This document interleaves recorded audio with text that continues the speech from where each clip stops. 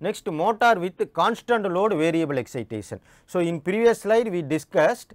So, this slide you can see the behavior of synchronous motor with varying variable load. Okay. So, in synchronous motor two cases either you can vary the load or you can vary the excitation. So, while varying the load what will happen uh, current will increase. Okay. So, by increasing the load current will increases. In second case, so this is important. So, here we are maintaining load is constant, we are varying the excitation. Okay. In synchronous motor you have the stator, okay. then rotor we have the rotor like this. So, rotor we have the field winding. So, we are varying the field current excitation, excitation means you are varying the field current. Okay. So, you are excitation, uh, you are varying the field current. Now, in this slide we are going to discuss how the motor synchronous motor will behave if if we vary the excitation by keeping the load constant V phase vector assume the load is some uh, 50 percentage of load. For example I am saying 50 percentage of load. So, 0 load means so what is the vector? So this is uh, V phase. If load is 0 means EB phase. EB phase is EB phase. EB phase uh, exact opposition that is delta equal to 0 okay no load condition. But here uh, in this explanation we assume that uh, load is 50 percent load. So definitely there is a some delta. So that load that 50 percent load will create some delta. So this is the delta. So this is called eb phase. So v phase this is eb phase. Now this is the uh, uh, excitation is varying. Okay. So now v phase now assume the excitation is less. If excitation is less that is field current. Field current is less. What happens? Flux will be less. If flux is less eb phase is less. You know the formula eb phase formula. So eb phase equal to 4.44 kc kd phi f t phase. So phi and eb phase is directly proportional. So if excitation is less the eb magnitude is less. This is the eb magnitude. Okay. So more excitation more uh, eb phase. The magnitude of eb phase will be more here you can see so here first case we assume the excitation is less so the eb phase magnitude is less so what is the current ia ia so you know the formula that is ia equal to v phase minus eb phase divided by zs so, if you want to derive IA current, you have to subtract the EB phase from the V phase vector. So, this is the EB phase vector, this creates some angle delta. Okay. So, V phase minus EB phase. So, here the EB phase, this is the EB phase, the EB phase magnitude is less EB phase. So, the delta at the same angle you have to draw EB phase okay, with, uh, with refer to V phase. So, what is this? This is the resultant. What is the resultant? Resultant is the IA ZS that is a formula you know. Okay. So, V phase equal to EB phase plus IA ZS. So, V phase minus EB phase is nothing but IA ZS. So, this vector represents IA ZS. Now, I am increasing the uh, um, EB phase. That is by increasing the excitation. So, that is V phase. This is case 1 this is case 1 now we can discuss the case 2 okay so case 2 so v phase i am increasing the eb phase. So more compared to v phase more. So eb phase so load is constant. So delta is constant. So this is second case. First case. In both the case delta is constant. Why delta is constant? Because here we assume constant load and variable excitation. So excitation here less here more excitation. So now what will happen? So v v phase minus EB phase. Minus EB phase. So, this is the delta. So, this is nothing but IA IA. This is one case. case. In third case, you can have the V phase. Okay. So, some EB phase, critical excitation case. So, EB phase. So, V phase minus EB phase. Okay. So, here we will have some uh, IA ZS, case 3. So, what is the inference from case 1 and case 2 and case 3? In case 1 the EB phase, EB phase is less, okay, excitation, under excitation. So, EB phase is less, why EB phase is less? Because flux is less. So, flux is less means IF is less. Why IF is uh, flux is less? Because IF is less. If flux less means under excitation. In under excitation, EB phase is less. So, but IAZS magnitude is more, IAZS magnitude is more. So, IAZS is uh, equivalent to IA in IAZS that is equal to IA like because constant ZS is constant. So, the ma IA magnitude is more. So, in under excitation the machine takes more current.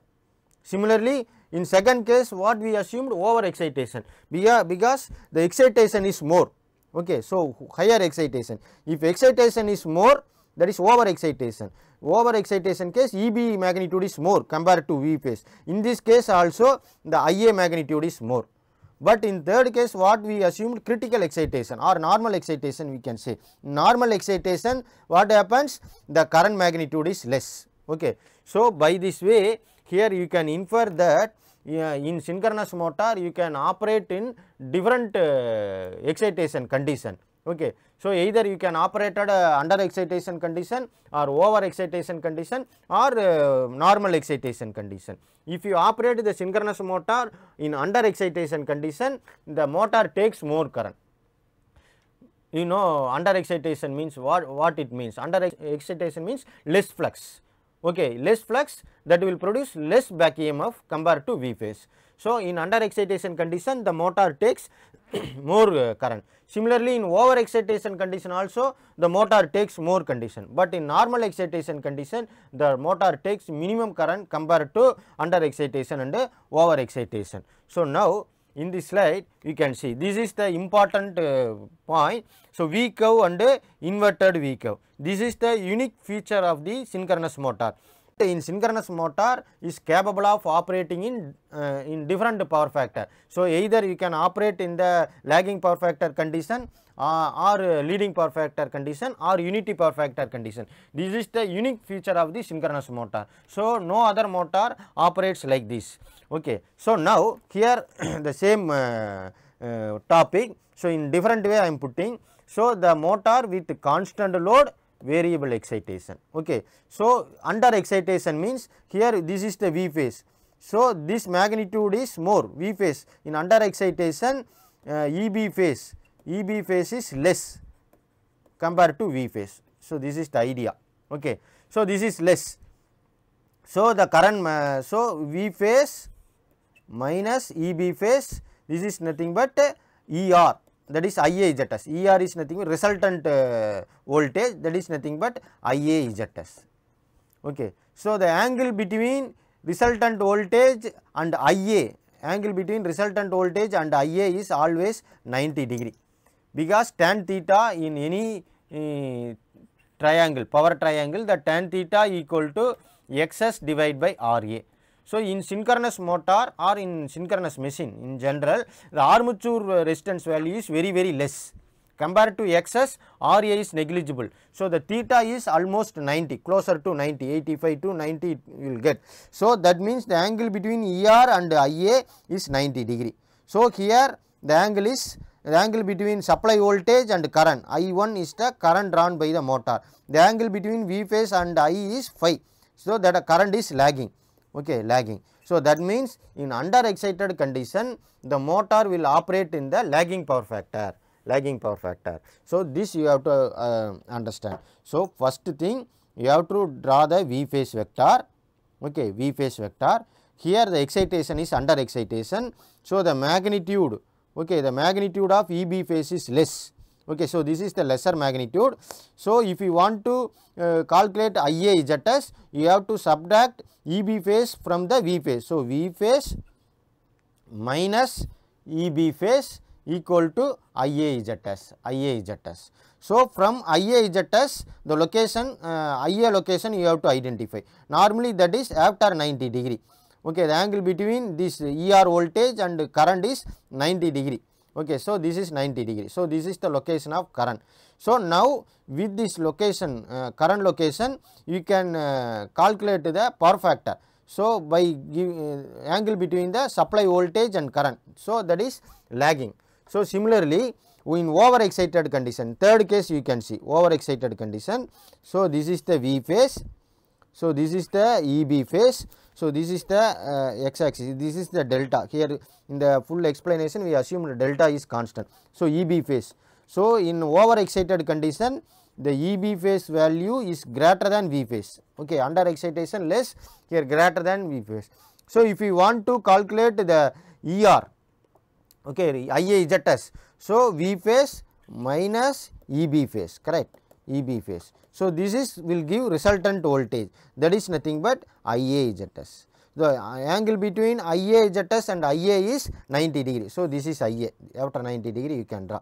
So, 90. Now, you can calculate the angle between voltage and current. So, here the current leads the voltage by some angle phi. So, the motor will operate in the leading power factor. So, leading power factor condition. In normal uh, excitation, you have to adjust the uh, back EMF magnitude, so that you can get the unity power factor. So, by adjusting this back EMF, so from the first two explanation you can see uh, this magnitude, back EMF magnitude decides the power factor. Magnitude of the back EMF decides the power factor of the motor. Okay. So, magnitude of the back EMF is depends on the excitation. So, by adjusting the excitation you can control the back EMF. So, by adjusting this magnitude this magnitude you can uh, make this current in phase with the V phase. So, that particular excitation is called normal excitation. So, the synchronous motor capable of operating in under excitation, over excitation and normal excitation. Now, you can draw the graph between IS that is supply current okay supply current means current drawn by the motor input current. Then field if if graph between supply current and if gives v curve. So this looks like english letter v that is why this is called v curve. So at one point of time you can take this graph second graph. At one point of time the motor takes minimum current. At one excitation the motor takes minimum current. So this is the unity power factor condition. So this region is called under excitation this is called over excitation. If you increase, if the motor is operated in the over excited condition, the current drawn by the motor increases. Similarly, in under excitation, the current drawn by the motor increases. At one point, at one point, the motor takes minimum current. Okay. So, that point is called the normal excited condition. Similarly, you can draw the graph between power factor and IF field excitation. So, that is inverted V curve. Okay. So, if uh, at normal excited condition, normal excited condition the power factor will be 1 that is maximum. Okay. So, in under excited condition the power factor is less then over excited condition also the power factor is less. Okay. So, this will give inverted V curve.